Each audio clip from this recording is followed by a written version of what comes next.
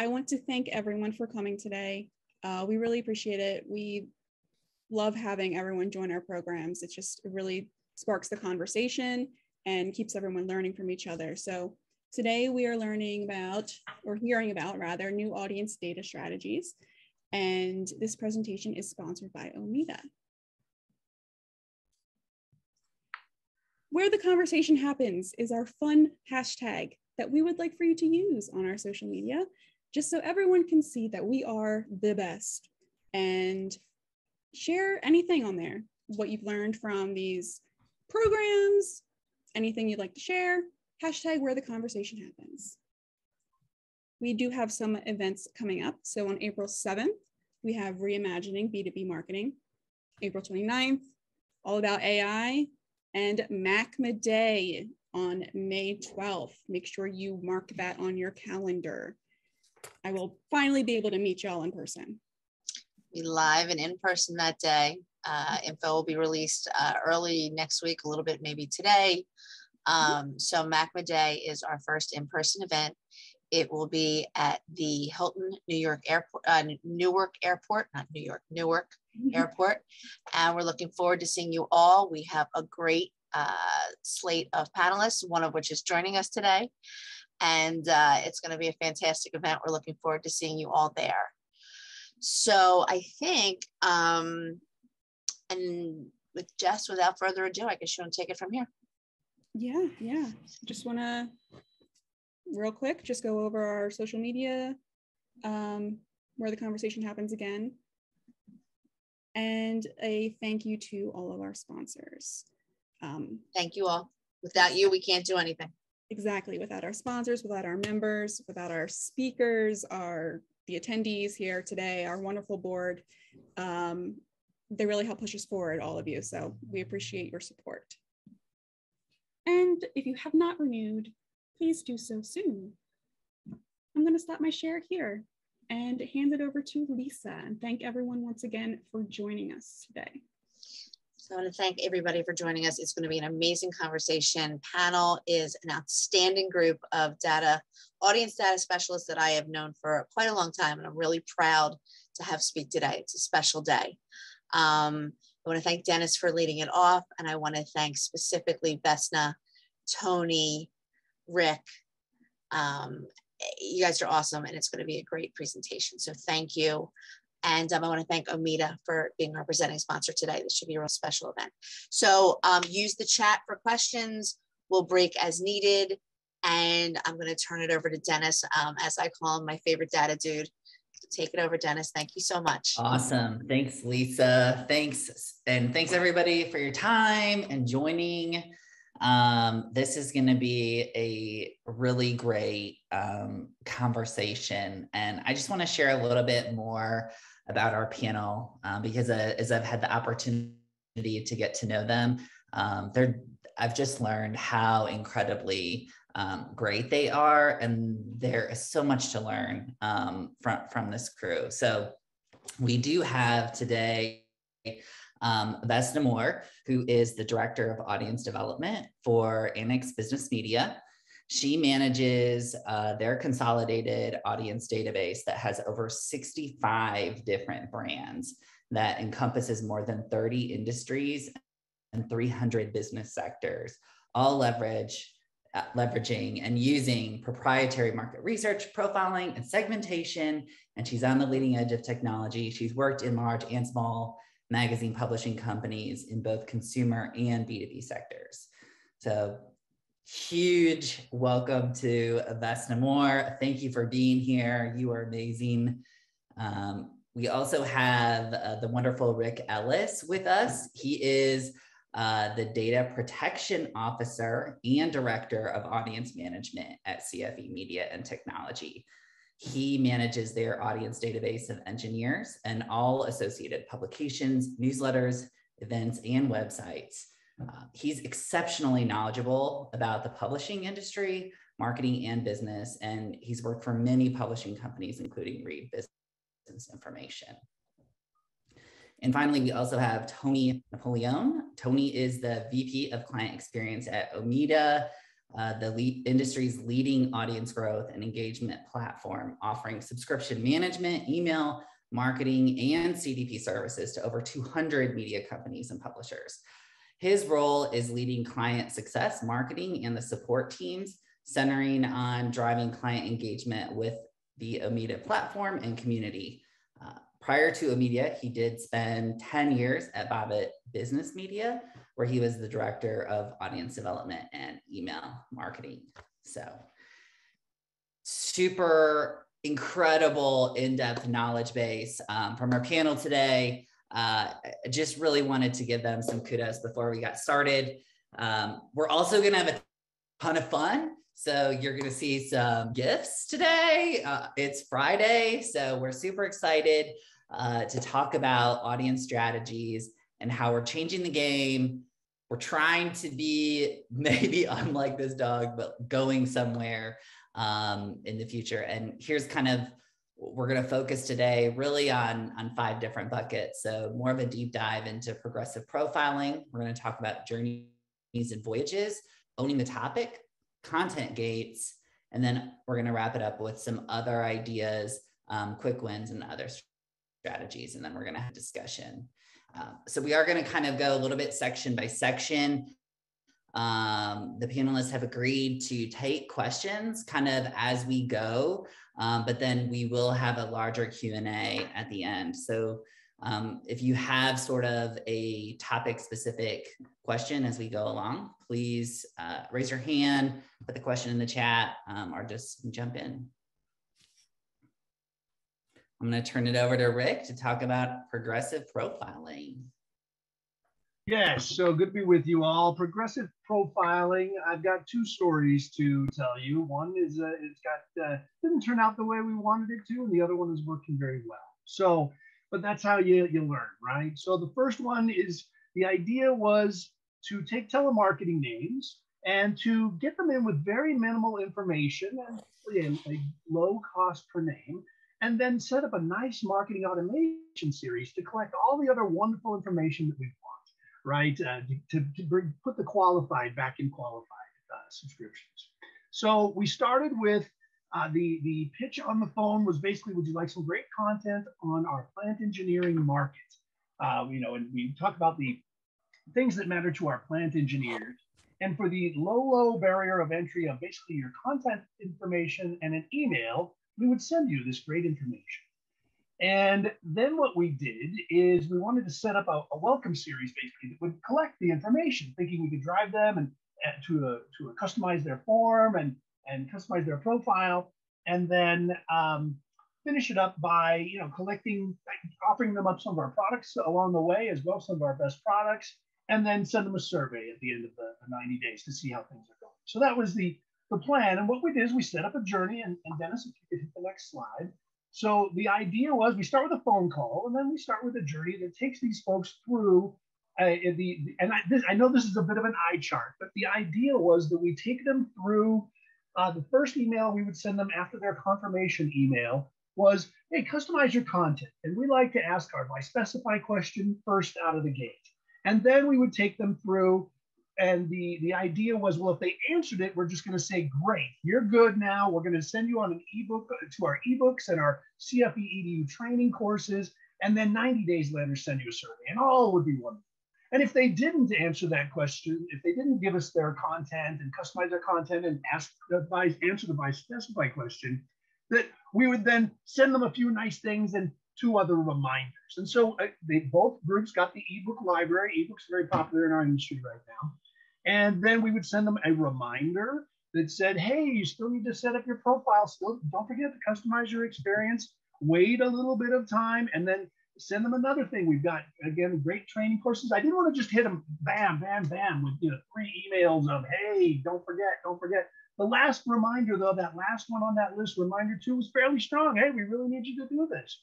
And so what we learned here, folks, is when you're talking to somebody on the phone, get that information uh, because what we've determined is as much as I wanted to think that I could get an email only or very close to it, and then that these folks would joyfully fill out these forms later and, and, and give this information. I mean, we all know you know, telemarketing names are kind of tough to engage, and it did. This this um, voyage did work to engage these people. We got decent open rates, but very few people, less than 20% of the people that I acquired with email only, filled out that form. The rest were happy to ignore it and just keep getting our digital editions and things like that. So what I would say that we learned here is while it did work to engage these folks, and that that I would always recommend with telemarketing you know, get them in as soon as you can and engage them with your best stuff. Yeah, getting get that information while you got them on the phone. Just get it. At least get the, you know, short forms are always good, short scripts are always good. But for us, the buy specified question really directs us on where to go, uh, what we can offer these folks. So that's the lesson learned. Get it because you're going to have less than 20% or so that, at least in our experience, and plant engineers are tough. Engineers in general are a tough audience, but that's what we learned with this particular progressive profiling. Now we're going to try some other stuff. Don't get me wrong, but it's going to be on the website. And I've got another example that we used. So this one is, is much more straightforward, and this is working very well. So we have a pop-up that is very related to the uh, the topic they are looking at at the time. So this is our brand consulting specifying engineer. If you start to read, we, have got a number, probably like you all, we've got a host of newsletters that are very topic specific. And so what we do is if you're reading an article on um, HVAC or something very related to it, you'll see this pop up if you're if you're not already in our system. And the idea was we wanted to get these folks in, and you know it, the, we'd have a better success rate. And we proved that we did have a better success rate when you got something that's very targeted to what they're already reading. So you know you were getting a typical response rate here of honestly one to two percent on the high side. But I'll take that as a pop. Not terrible, at least in my experience. But what we wanted to do is we wanted to take it to the next level. And it's fine. I, what I didn't want is a bunch of names with just an email and a country in my database if I could help it. And so what we tried is now, um, when you fill out this form, you get you hit submit and you're taken to the next form. So this form opens up and it says, great, that's done. Now you can customize your experience. And we pre-populate this information, by the way. We, you know, we, we put their uh, uh, their their name in here if we have it, and email's not shown on this one, but if we pre-populate that in some versions. And then we ask one question, our most uh, important question, and this is a progressive form. So if by some reason they've filled out some other information, the next question will appear. But buy specify for us, again, is our directional question.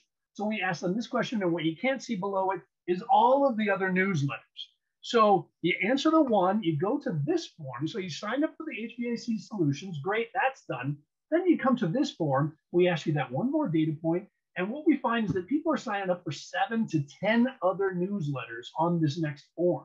So that is an amazing, I mean, I'm not surprised by it necessarily because, you know, the more things you give them to sign up for, the more they're going to sign up for. But at the same time, the, the thing that is really impressive about this is the abandon rate is super low. We're finding that 60 to 75% of the people that hit the second form complete that form. To me, that is dynamite. That that it, it was actually much higher than I expected. Uh, but they're engaged, they're in the moment, and it's worked very well. So that's what we've done here. We're going to start, you know, keep tweaking it, but this has been working very well. We've been we've rolled this out on all of our brands, and it's like I said, it's working very well. So those are the two examples I wanted to show you. A, a, kind of a little bit of a sad story and a little bit of a happy ending here on. Yeah, super, really interesting stories, Rick. I can't believe you're getting people to sign up for seven newsletters. It just it has me curious. Are people staying engaged on on, on that many newsletters after they sign up? Are, are they getting excited here and then staying engaged? So it's a great question, Dennis. So for the I, I think the the long answer is yes but it really depends. We've got some dynamite newsletters, and then we've got some that come out every other month. And so I don't have a great read, as great a read on them. This particular audience, consultant specifying engineer, is an, a highly engaged audience. Unlike our plant engineering guys, who these are guys running around a plant. The plant engineering guys are not as desktop. So they tend to be less engaged than our consulting specifying engineers. And I think sometimes you see that with people that are more running around. What's interesting is that our plant engineers, when they're on our site, they're engaged, they're clicking on more articles than our other brands. But the tough part is to get them to open something to come to the website. So, it, you know, I, I look at it that way. But to answer your question more directly, in this brand, very engaged. And I think they typically act like our website acquisition name. So they're more engaged than than most, if you will. Excellent. Wow, really good story. Really good story. Do we have any any immediate questions for Rick on progressive profiling? I do want to say though, Rick, that I'm I'm totally there with you on on get the information while they're engaged because trying to go back on any kind of conversions or anything like that is always tough. So if you've got a captive audience, use it when you have it for sure. Absolutely. And we are going to try one other thing where we're going to start targeting these folks with um, a inline uh, question after they come back and see if we can get more information. But I'm a little That'll pessimistic now. Yeah. yeah. but we're gonna give it a go. We're gonna give it a go. Yeah. So good. Good for a round two. Um, do you do you include this meeting is being recorded? Uh, do you include um, more than one demo question on this progressive filing, or is you just limited to that one primary one that's the specifying or the, the question that you've got listed in the sample? Yeah, Jim, it's the buy specified question, and we do just limit it to one. Okay, cool. Yeah, yeah, one question because it's still kind of, especially on the other brands, it's a little bit of a longer question, and that list of newsletters is long. So I only wanted the one question up there. But you know, it's important when you're doing this. If you're gonna go with the short form, you guys all know this, but get the one that means the most. Get that first. Get the one that matters the most. And for us, this is a very directional question. This is going to tell us what to promote them on all the other events and all of the webcasts and all the other things we do. If we have this answer, it's basically the what do you like question. Cool. Good question, Jim. All right, let's jump to journeys and voyages. All right, so we're we're going to talk a little bit about journeys and voyages and a couple of things that we've been doing at Annex Business Media using journeys and implementing journeys and kind of the um, the responses that we've had from our, our clients and our customers. So that little guy trying to get out of that box, it's intended to signify, you know, thinking outside the box and kind of how we get a little beat up when we try to do that sometimes. But every now and then an idea can come together and uh, we've had uh, uh some some good success with um, what we've done with our lead driver and our, ad driver programs so far. Lead driver, if you can go to the next one and one more there, Dennis, is basically where we've set up a templated um, but flexible journey for our clients. So this is where our clients can come to us and we've already pre-packaged a journey for their prospects, their potential clients. Um, and that journey includes um, multi-channel voyage. It's highly targeted. Um, we create a gated landing page for the client um, so that we're collecting any of those leads that are unknown to our database. We have pop-ups on our site that are trying to engage people with their advertising. We also have a four drip email campaign that we do.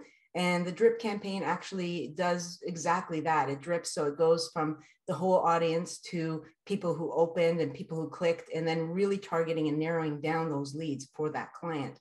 We include a Facebook social campaign as well. Um, and we also include what we call our sponsored spotlights, which is um, an area on our newsletters. And then at the end of this campaign, one of the biggest things is that we're providing a scored lead list back to the client.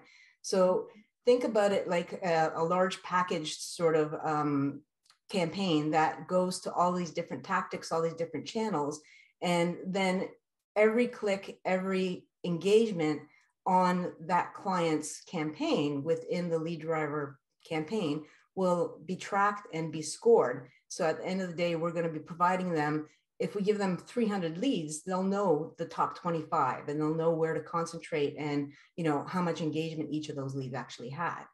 So one more dennis? So similar to what rick had showed earlier this is the the voyage. Um, it's a sample voyage. We didn't want to give away the secret sauce of what our voyage is but this is a visual representation of the different tactics that are involved in a lead driver campaign the concept is that we are going out, we're not just doing branding, but we're also creating highly engaged leads using a number of the different tactics that we have available to us. So it's proven that it's been kind of easy for people to understand. And especially if you're going to clients that are not necessarily using agencies, they don't understand voyages, they don't understand, you know, um, drip campaigns and things like that. So you're making it easy for them to really buy into a, a highly flexible but highly usable template for their marketing and their campaigns. And at the end of the day, be able to provide a lot of really good leads that are targeted to people who have seen their branding through the campaign process. I I love this. I mean, this is great. The multi-channel effect, the the scored leads going back to people, and one of the things that I, I know I see a, lot, Vesna, is the, the customers more and more they want you to do it all.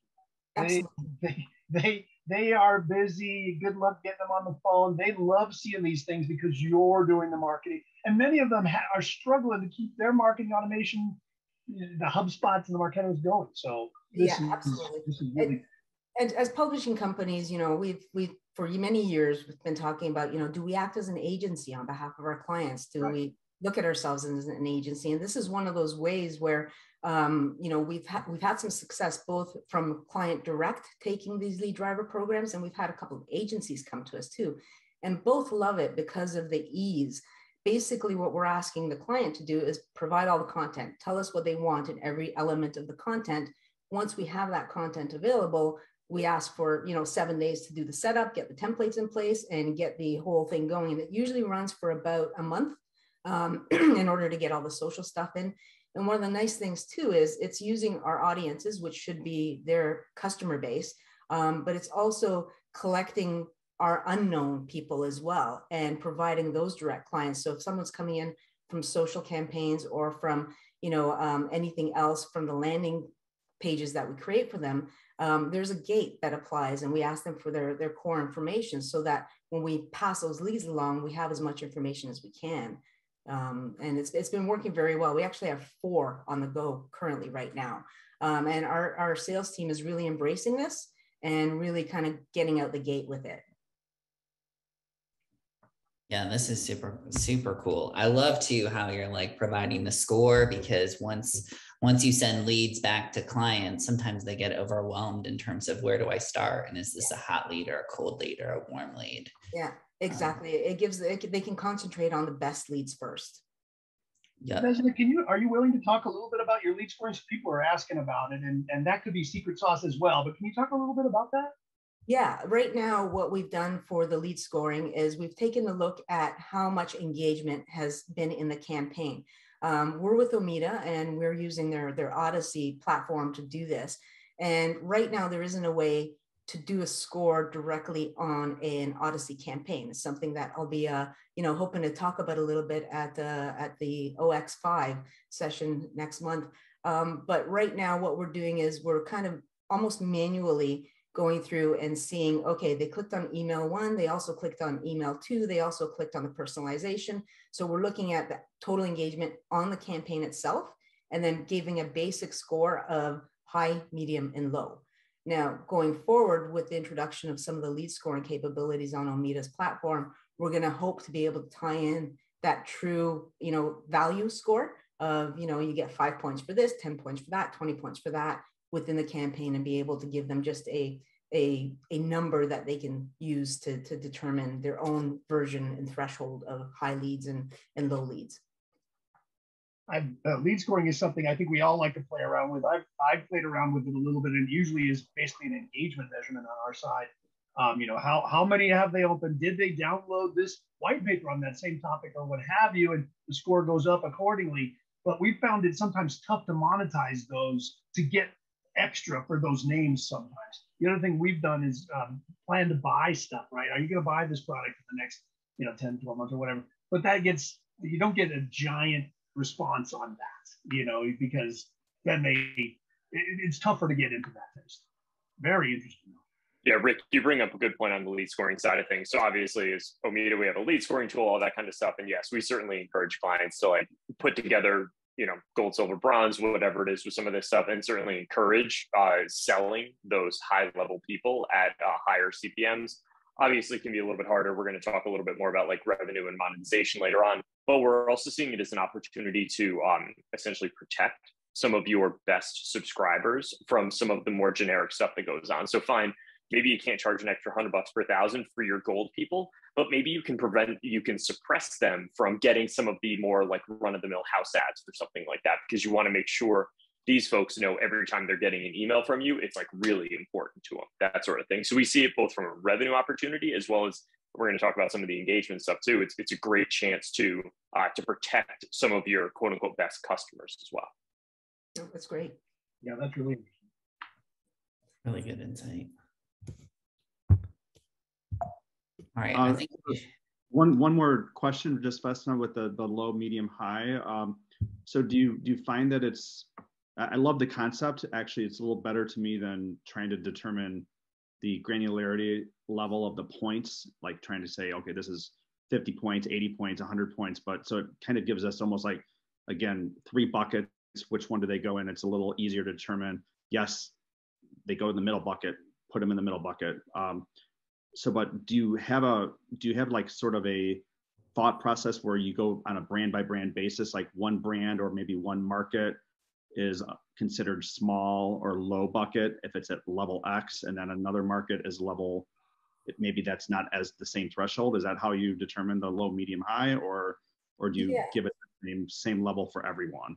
Well, we started thinking that it would be the same level for everyone, but honestly, what we have found is every time we finish one of these lead driver campaigns and we go to do that assessment of the values of the scores on that uh, lead file that we provide back to the client, we're finding depending on the market, we may evaluate it differently. So it is a little bit of eyeballing involved, honestly, until we kind of go through a couple of these.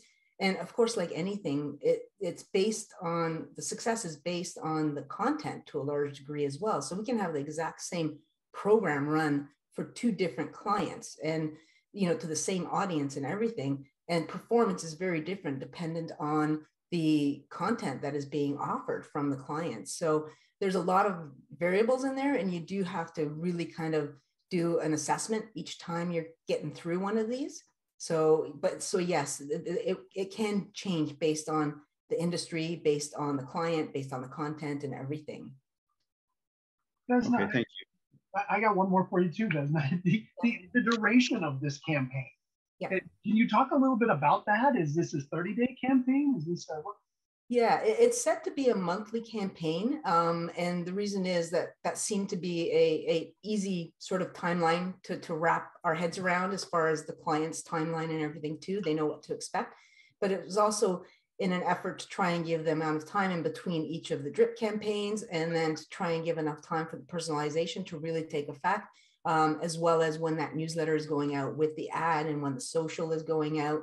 Um, you could probably wrap it up within three weeks, um, but it just seemed like a, an easier thing to say that it was a monthly campaign.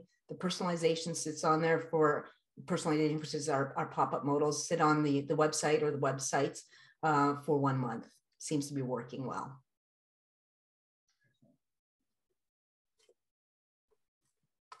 really, really good stuff. And this is just a, a kind of a, promo piece that talks to our, our clients when we're trying to, to get a sale on the lead driver program. And it talks about all of the values and the benefits of you know how how it works. And uh, what they can expect and what the intent is of a lead driver campaign. So our, our COO actually worked very hard on getting a lot of this content. He comes from an editorial background. Um, so he was actually instrumental in getting this launched and up and running and, and everything. So it was it was a, a win-win all the way through from uh, from every aspect. So we're hoping to see a lot of success with this program. It's basically white labeling an Odyssey journey um, through our, our platform provider, which is giving us a brand new product to sell, which has been selling quite well so far. This is great. Really powerful stuff. And then with, at the same time that we were kind of looking at lead driver, um, we kind of came up with the concept of ad driver as well, which is very similar. It uses Odyssey in the same way. We've simplified it because Eh, we just, you know, don't need as much as, as a full lead driver program. But the concept here is this is going to be something that we run on a regular basis that actually benefits our own sales team. So it's pretty much, you know, creating a, a marketing division within the audience department to be able to market our upcoming issues to our Salesforce list to our, our client, to our salespeople's clients lists. So the premise here is that we create an Odyssey that will send three emails uh, letting people know about the uh, content and the editorial content of the next issue and that they should be advertising. So we're basically marketing our own brands. We, you know, we sell our products to our clients and we tell them how wonderful it works. And we thought we'd we do the same thing, basically use ourselves like a client would use us to sell our own magazines.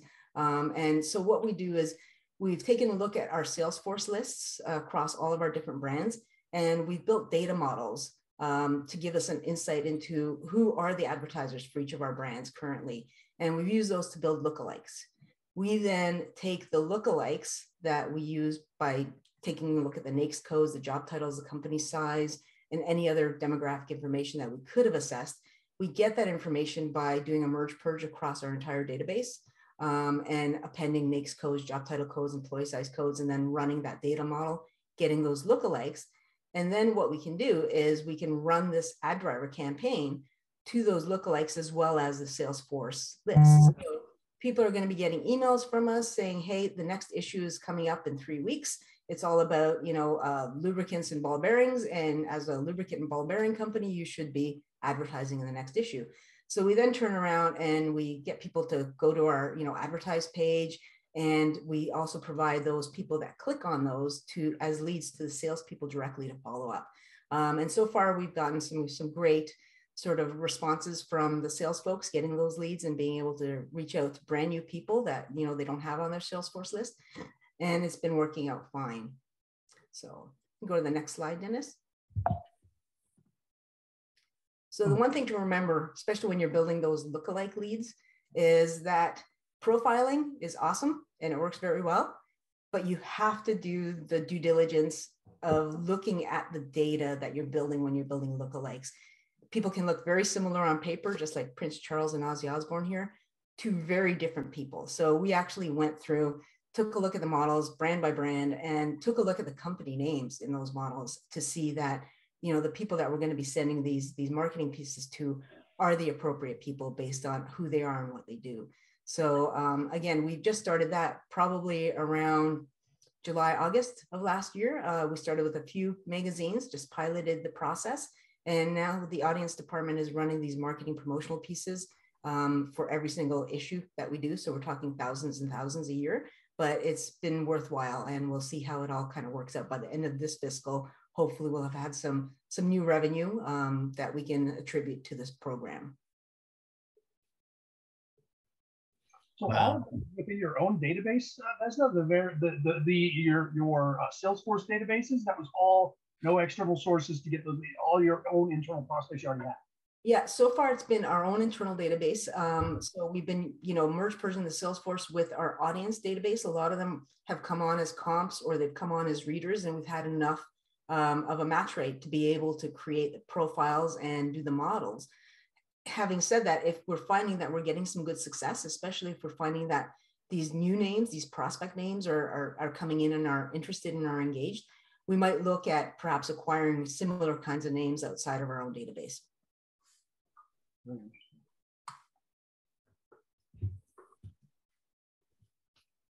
Yeah, I was just I was just gonna say, just looking at this slide, like it looks so simple, but I'm I can't even imagine the amount of data work and the rules that goes into this. Like clearly, clearly sophisticated, and, and you guys have built like a really uh, amazing process to get this done.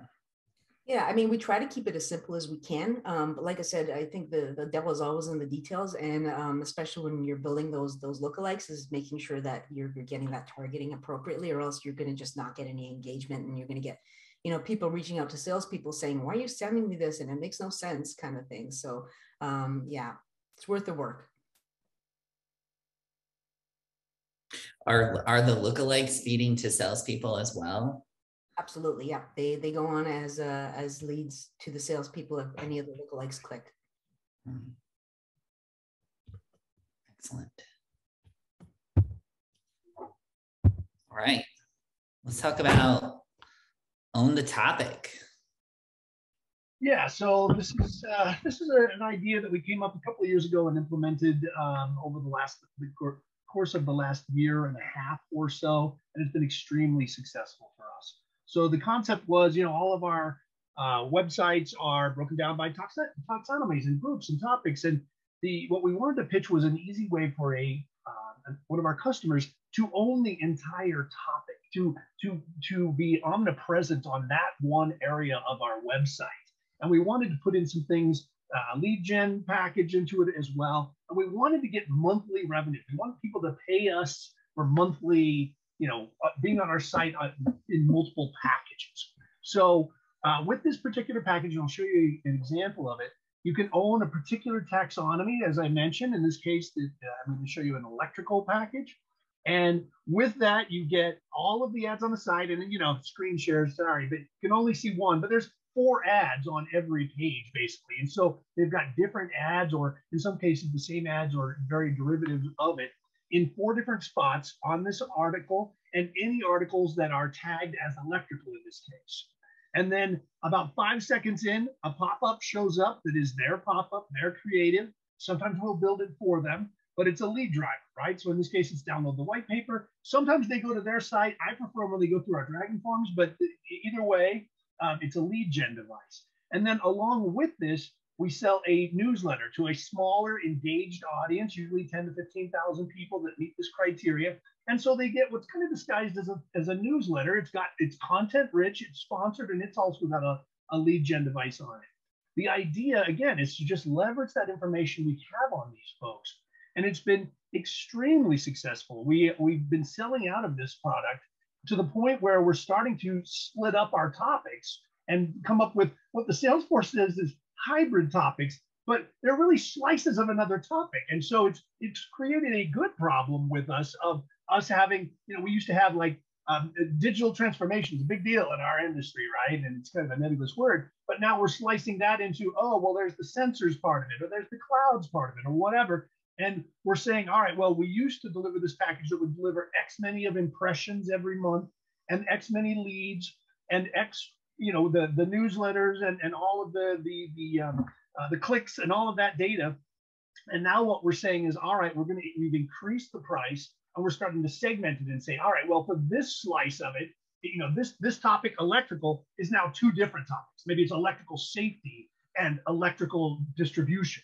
And so we're starting to actually get to the point where we need to slice those up because it's such a powerful package. And people love it too. Just even the terminology of own this topic, own this taxonomy on the website. It's been a very potent sales message for us. And we've been able to, I mean, it's it's definitely been high six-figure revenues for us. So this has worked out extremely well. It does generate leads. It's kind of the total package. And um, as I said, our our our, our next iteration of, been, of it has been, we started off with, I think it was 11 to, I think actually, I think it was 15 topics. Our iteration of it is now going to be to slice that into 30, uh, basically 30. It's actually going to be more than 30 in some cases, and raise the price. So it's it's worked out extremely well. It is tough to manage a little bit on the back end because uh, on the, on the back end we do need to jockey between the priorities of, of this. And I see the question from Joyce uh, the time period for this campaign, Joyce, is we sell it in three, six, nine, and 12 month packages. So, um, but uh, we want that monthly revenue. I don't know about you guys, but we want to, we'd love to get to where our customers are just writing us a check every month. Yeah, and and then we deliver them. And to like, I love that thing that Vesna showed up here. We're trying to build more marketing automation type things where you, would you just give us a check every month? We're going to do all these things for you. We're going to do these 10 things for you in that month and then we're going to just deliver you a nice report at the end of the month and a, here's a bunch of leads and, and all of that. So anyway the on the topic it's it leverages the taxonomy data on your own website leverages the, the Omeda the analytics system and everything that's embedded in our on our system. And and it's it's really been a, a, a very good thing for us uh, a good revenue generator yeah, well, and the that. incentive, Rick, for uh, your people to uh, commit to longer packages with some of this stuff is because there are going to be different people coming in on a recurring basis, right? You're not you're not just talking to the same people for three or uh, months versus twelve months. Uh, agreed, Vesna. You were. Yeah, I was just gonna say. I, I, mean, I love the idea. I mean, I brought up a, a similar sort of concept uh, a couple of months back to, to my boss and to some of our salespeople just to see what they thought of it. And it was also including the ability to use that same taxonomy for you know electrical systems like you have here, and offer them a package where they can take an annual subscription at a, you know a decent price um, and we would not only place their ads where the content is relevant to that topic, but we would also do e-blasts to people, the last, you know, people that engaged with that specific topic and uh, provide that as a package. So that's something we're going to be kind of looking at fleshing out a little bit and seeing if that's something that could work for us as well. But I, I, I think it's terrific. And through the magic of the data science, I just figured out well, a little bit ago now, but I just figured out that I know who saw these ads. Yeah. I know who saw them.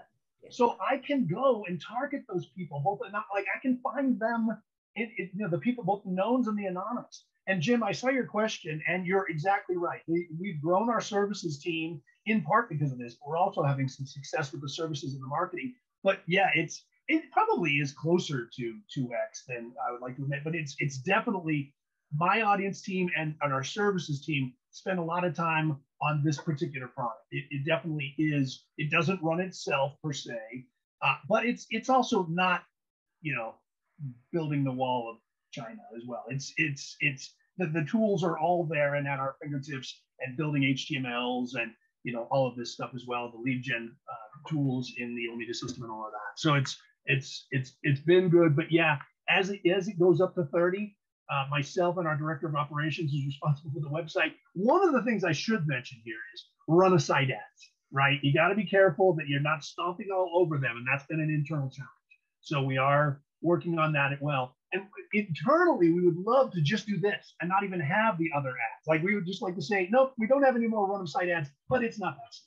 So it's it's internal discussions, but this thing has been so successful. And again, that that monthly hey, just three months worth, we'll take it from here, guys.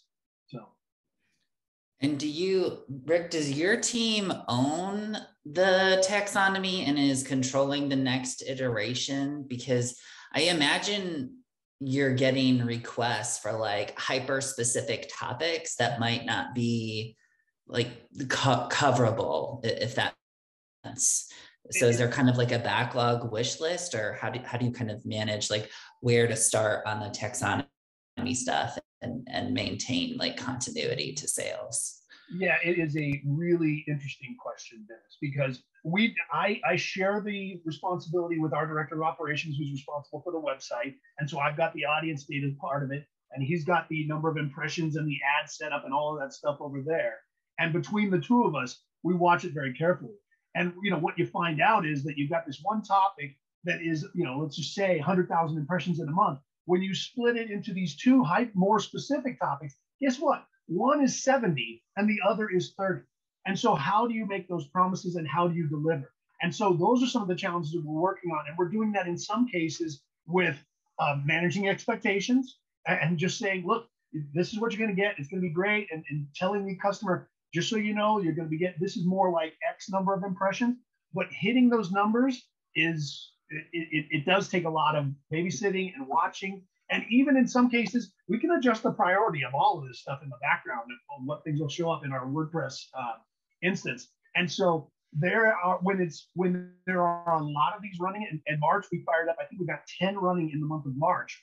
That is a lot of levers being pulled almost weekly to, and measurement of how's that coming.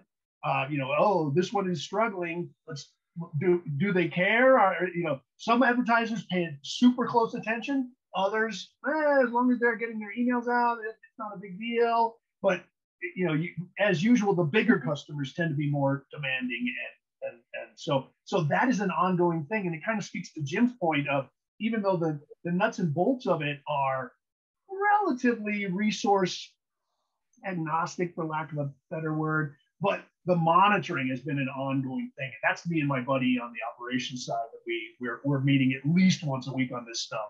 So anyway, it's been it, it's it, it does take management and it's it's a, and the other thing, last thing I'll say is try what we want to get to is to be able when they come up with the topic, I want to be able to say, yeah, that's thirty thousand impressions. That's what you're going to get, and that is proving a little trickier. Some it's easy, but some of them are really tricky when you get into those hyper specific ones, as you mentioned. Good insight. Wow, super good story. All right. Let's shift to gated content. All right, so content gates. Um, this is a good example of taking a look at what your systems and your applications can do for you and just giving it a try. Um, we never took the initiative to decide that we wanted to impose content gates on any of our websites or anything else like that. Um, but we knew we had the ability with our new platform to be able to do it. So we thought, okay, last summer we, we said, let's test one. We're going to take one magazine and we're going to watch it very closely and uh, see how it all goes. And it ended up as a huge success story. So it, it, it, taught us things. It taught us that it's okay to content gate. It taught us that it's okay to ask for a little bit of information from people who are visiting your website that are not subscribed to your products. Um, it's okay to make it easy to keep them coming back. Even though what we've implemented was technically a hard gate, um, we've done it in such a way that people will eventually get access back in to receive to get the content again and again. Um, and we realize it's okay to grow our email list uh, for zero marketing dollars um, and that it's okay to get better engagement because the people that we're getting through this content gate are proving to be better engaged um, than, than expected.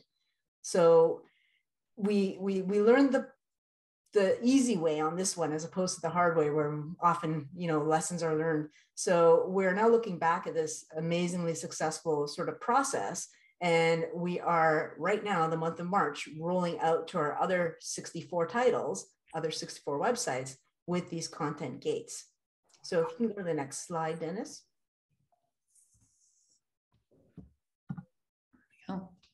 So the magazine we tested for was OHS Canada, and this is uh, an example of what the, the content gate looks like. Um, and it targets our non-subscribing visitors only, not necessarily unknown. So you can be um, known to even from a different product, but you can be known to us on our website, but you're not subscribed. So the value, I'm not getting the value from a subscription from you. So it targets anybody that's a non-subscriber. We're allowing three free articles to these people. Um, and then the hard gate presents after that. Uh, so the, when they subscribe, they no longer see the gate, obviously, it, it's, and it resets every 30 days. And I think the secret to the success is that reset every 30 days because the biggest concern with imposing any kind of gate, whether it's a content gate or a paid gate or anything like that, is you're going to see a huge dip in your traffic. People just stop coming. They're not going to go past that.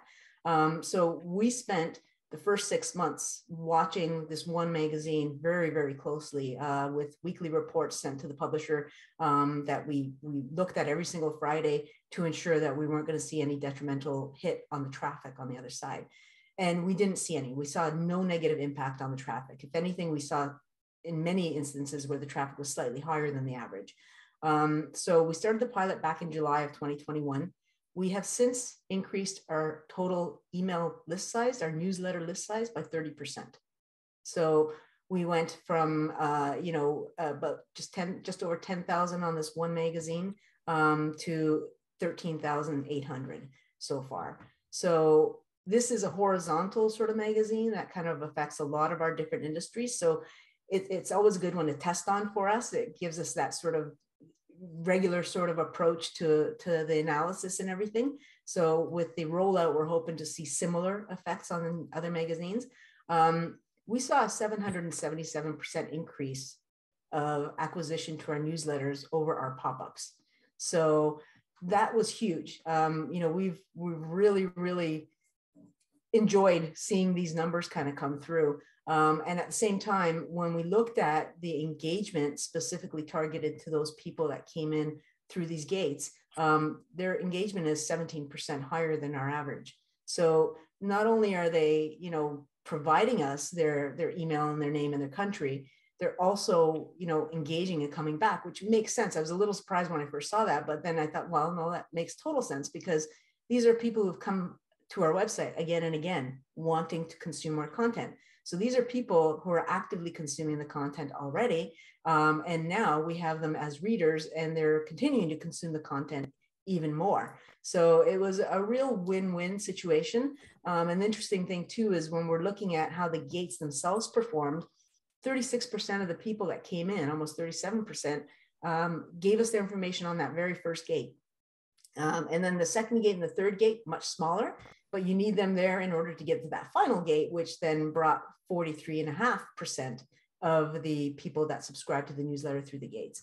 So um, we are literally launching about three websites a day for the month of March.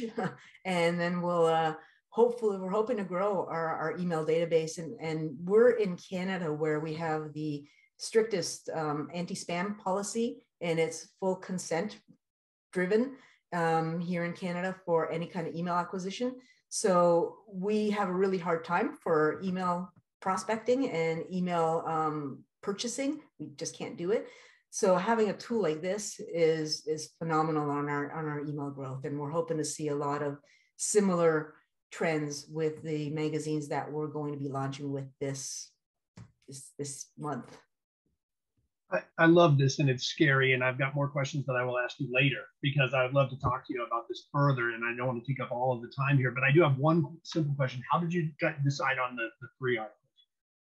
Uh, how did we decide on what? Sorry? Yeah, you, or the, the, I think you said it was three articles was the limit for the month. How did yeah. you decide that? You know, we we kind of thought three is good. We took a look at what our standard sort of um, traffic was. So when we send our newsletters on average how many times do, are people clicking on it to try and get a gauge of if we have similar sort of process happening with unknown readers how many times can we expect that they might be kind of coming back without actually receiving our newsletter? Um, so we, we settled on three for this magazine. We're going with three for the other brands as well just because it's the only sort of gauge we have right now and it seems to be working well. Um, so it was it was a bit of a, a guesstimate on that but it it worked very well. So we we guessed right, I guess. Yeah, thank you, Nicole. I saw that as well. Yeah. Really good, and and um, so just I'm I'm kind of curious, Vesna, on the on the content reset. So is it three views, and then the hard wall, and then 30 days later it's three more views and a hard wall? Yeah, I actually think, and maybe Tony, you'd know um, with the gates, I think it's from the last click. So, um, you know, it would be when that hard gate presents. So if you, you know, you come in on the, the 1st of January and you get an article, then you come in on the 15th, then you come in on the 20th, then you come in on the 31st of January, it will reset as of, you know, February 28th kind of thing yeah, we have some clients who do it on on like a rolling 30 day period, and we have others who just say, okay, it resets for everybody on the first of the month because it lets them clean up some of the language, saying, hey, you're out of articles for February as opposed to March. So either way. Yeah, so we're using the the rolling one. Are the are the gates three different gates you've got there, or or like a? The, they technically it's one gate with three different messages that comes up. So you will see if you if you come in on your first article and say, um, you know, you, this is your first of three free articles. Ah, thank you. And on the second one says this is your second, and then your third one says this is your last free article, um, and then the fourth one says you have no more articles. Please subscribe to to get access. Thank you. I know we're I know we're running a little bit up on time, but we always have a few minutes to go over. Um, but I, you know, wanted to give Tony an opportunity here to talk about other ideas. Thank you. You know, I, appreciate that, uh, Dennis. Um, yeah, so we'll we'll skip a lot of these. Obviously, I mean, I, I, think we could spend a lot of time talking about each one of these individually. Um, but you know, I'd, I'd, much rather hear from Vesna and Rick on some of this stuff. So, um, you know, a couple other options we want to introduce and or like reinforce. Some of these things, admittedly, are a little one on one. The thing I always like to re, uh, reinforce is they not only work for your own audience growth and engagement initiatives, but they can also work as uh, as a saleable option, right? These, these are sales and, and revenue options like Rick was talking about with, with some of this stuff. So um, I'll, I'll, skip some of these. I, I think uh, on-site modals honestly get overlooked uh, in a lot of cases. Um, you, you, saw some of these from Rick. Certainly, great source of first-party data. Um, we really see it as a nice opportunity to convert unknown users to known and connecting that cookie to the individual user again more and more popular um, and relevant as these third-party cookies continue to you know get closer to the the latest end date from Chrome and some of the other ones. Opportunities for progressive profiling. Rick walked through all, through all of those, but these are sellable too. So it's not just hey like pop up and give me your your uh, email address for our newsletter. targeting certain people with a message on behalf of advertisers is, is really popular with a lot of these too, and can kind of come in somewhere between a full-on prestitial, interstitial page takeover versus like a one-off e-promo. So it's kind of a nice, like lighter way with some of these, particularly if you're using things like um, like a scroll trigger uh, or a time delay or an exit intent, something like that, where it's not necessarily right in your face or you're waiting until it's on their second page view or their third page view or, something again. So it's it's not quite so so immediate with this, and you're using that uh, that demographic or behavioral data to only target the right pay, uh, the right way. Talked about content gating. That's really great. The only piece I'll add here, um, we see results like what Vesna outlined. The only interesting, uh, the only other interesting piece is that that last piece, that final hard gate, we've had clients who set it up to say this is your last one, but it's not actually a hard gate. They let them continue on, but they still see the same high conversion numbers on that final one because people really do think like they're about to get shut off with something like that. So we had a client very concerned about losing those overall page views. So they still ran the same language. Fourth one or fifth one came and they they let people move on, but still saw a really good number. Um, uh, again, sponsorship opportunities. You know, okay, five free page views in the month of February are brought to you by by Ford you know, to, to thank them for this free content, please click here, something like that. Some additional inventory. Again, you're not running it for the whole site. You're running it for some uh, some smaller groups.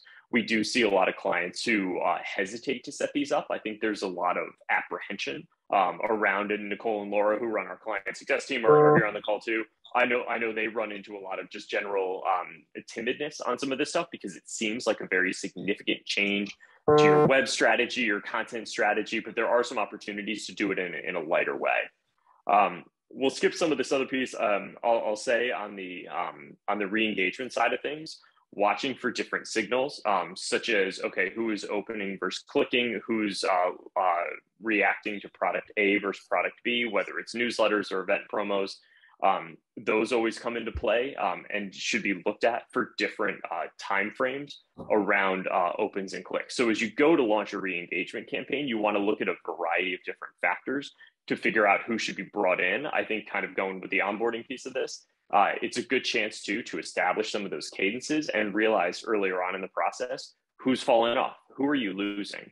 Don't wait for that brand new name to lapse six months of unengaged or three months of unengaged before you start to re-engage them we have some clients who start looking at engagement for net new names within seven days of them signing up because they're like, hey, within a week, we already know like who is going to be, uh, you know, if you they sign up, you send them three newsletters that first week, they don't open any of them. Like you already kind of know how this relationship is going to go. So why not start jumping in a lot earlier via some of that automation? Because otherwise, it's hurting your inbox placement, it's hurting your overall deliverability, et cetera. And then you can launch some really good multi-channel. Jimmy had that good question before in the chat. We look at all this stuff from a multi-channel point of view. If you got an email address on there, they're getting your newsletter, they're not opening the newsletter, stop sending them emails saying, Are you sure you don't want our newsletter? Like start hitting them with some of these pop-ups, push those groups into social. There are lots of other ways, frankly, in some cases, inexpensive ways to get in front of these people to to quote unquote win them back. Um, and on the monetization side, I think you know both Vesna and Rick walked through some really nice options here. I mean, we love the own the topic concept. That's definitely something we're really pushing with. I guess just a couple pieces to add to that, where um, identifying the right segments, make sure you do have enough content. I think one of the challenges we see is clients go in and they they're pulling on some of these groups that don't necessarily have enough page views, enough audience members, uh, and make sure you're working with those blue uh, blue chip companies. This is a premium thing, like Rick was talking about takes time, takes energy. Don't go to your low cost advertisers. Start with the blue chip ones, the tier one uh, uh, prospects, clients, advertisers, things like that, um, and price it accordingly. Don't be afraid of it being a premium product. Our clients love this, and uh, be- because it is that recurring subscription model, you don't need to go out and resell it. You're getting new people that are flowing into and out of this as well. Uh, we've got a nice PDF that we're going to share um, afterwards um, that just has a, a, couple more of these at a very high level. Obviously, we always love to talk about this stuff too, so don't hesitate to reach out. Um, and we're going to talk a ton about this too. Uh, we have our annual uh, industry conference uh, coming up May 4th through 6th in downtown Chicago. You will see some of these friendly faces, as well as some of the folks that are also on here that didn't uh, feel like turning on their uh, camera today. Um, it's turned into the largest event in the industry. Uh, we are expecting about 350 or so people uh, to show up this year from a variety of different uh, media companies and publishers, B2B, B2C, um, uh, associations, nonprofits, all that kind of stuff. Really good for all levels up and down your organization, C level, um, audience people, data, tech, sales, and revenue. We're going to have five great uh, panels throughout the show. We're going to do a bunch of success stories. We have two really good industry speakers who are coming up. Jacob Donnelly from uh, a media operator and the and the uh, GM at Morning Brew. He's actually going to record one of his podcast episodes live from the stage. We also have a, a gentleman from Proofpoint. Uh, he runs the deliverability team uh, on the email side of things. So for any clients who have been trying to figure out why their own emails aren't getting through uh, in terms of like their own corporate servers, feel free to come and throw stuff at, at uh, this guy Jaron really great, really knows his stuff on the uh, deliverability side of things. We're going to have some roundtables, some great Ask the Expert sessions, uh, and we're going to throw a couple really good parties too. So omeda.com slash OX5. Um, would love to see uh, see everybody there. Absolutely. Absolutely. It was the ultra fast version. Tony, you crushed it. Thank you. You are awesome. And thanks for the follow up insights and tips too. Um, I wish we had more time to answer a whole bunch of follow up questions. I think we're okay to stay on for an extra few minutes if anyone does have burning questions. But Vesna, Rick, Tony, thank you. Thank, thank you so much for making this an amazing conversation. You guys did a great job. Such amazing content. Thank you so much anybody wants to throw a question in the chat, you know, just we're fine to stay on for a few minutes. Um, I'm blown away by the level of depth and what you shared. I'm so thankful. Anybody, please, you can turn just turn your mic on and start asking questions. More than happy to have it. Um, and while somebody's doing that or not, I want to remind everybody that after Tony's OX5 is MACMA Day. So we will be live in person in Newark um, the information is going to come out shortly. There will also be the virtual uh, aspect registration for anybody who can't fly to Newark. So you're all invited. We can't wait to, to hold this event for all aspects of the industry. And um, I think it looks like there's not a lot of questions right now. Anybody else? Okay. Vesna, thank you. Tony, thank you so much. Rick, thank you.